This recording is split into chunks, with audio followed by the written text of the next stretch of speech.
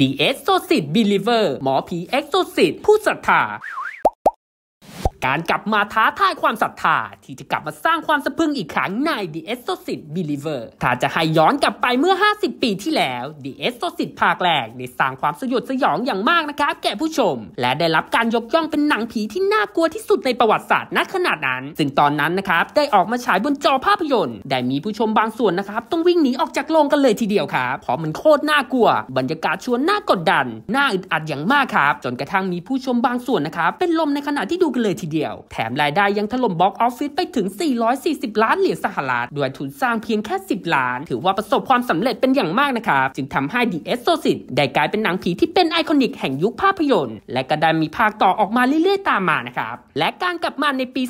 2023 เป็นการปลุกชีพแฟรนไชส์นี้ขึ้นมาใหม่ครับต้อนรับเดือนแห่งฮาโลวีนกับ The Exorcist Believer เป็นหนังลำดับที่ 6 นะครับ แต่เป็นเรื่องราวต่อตรงนะครับ โดยจากภาคแรกที่ให้กำเนิดแฟรนไชส์นี้ The Exorcist ในปีคศ1973 ซึ่งจะเป็นเรื่องราวของวิกเตอร์ คุณพ่อเลี้ยงเดี่ยวที่เลี้ยงดูลูกสาวแองเจล่ามาโดยลำพัง หลังจากที่สูญเสียภรรยาของเขาไปนะครับ จากเหตุการณ์แผ่นดินไหวเมื่อ 13 ปีก่อน วันหนึ่งครับแองเจล่าและแคทเธอรีนเพื่อนของเธอ ทั้งคู่นะครับได้หายตัวไปในป่าก่อนที่จะกลับออกมานะครับในอีก 3 วัน แต่เธอนะครับกลับบอกว่าเธอหายไปเพียงแค่ 2-3 ชั่วโมงเท่านั้นเอง และเธอก็ดันลืมทุกอย่างนะครับที่เกิดขึ้นจึงนำไปสู่เหตุการณ์แปลกประหลาดต่าง ๆ ต้องเผชิญหน้ากับปีศาจสุดชั่วร้าย ที่มาครอบงำร่างของแองเจลาและแคทเธอรีน และวิกเตอร์นะครับจะหาทางช่วยและหลุดพ้นจากเหตุการณ์พวกนี้ไปได้หรือไม่ มาพิสูจน์ความหลอนกันนะครับใน The Exorcist Believer หมอผีเอ็กซอร์ซิสต์ผู้ศรัทธาวันที่ 5 ตุลาคมนี้นะครับในโรงภาพยนตร์